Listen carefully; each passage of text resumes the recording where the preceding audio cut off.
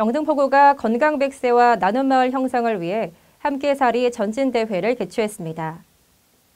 12일 구림 영등포 노인종합복지관에서 함께살이 미랄 참여자와 서포터 등 150여 명이 참석한 가운데 함께살이 전진대회가 진행됐습니다.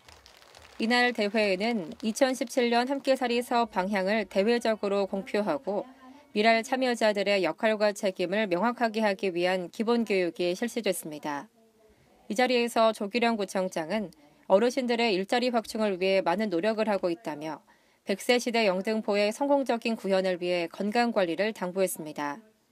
여기 계신 여러분들께서 건강만 하시면 언제든지 일자리를 가지고 있다. 이렇게 우리 어머니 아버님들이 함께 노력을 하고 일자리가 주어지고 그러면 100세 시대는 문제없이 갈 거 아니냐 이거죠.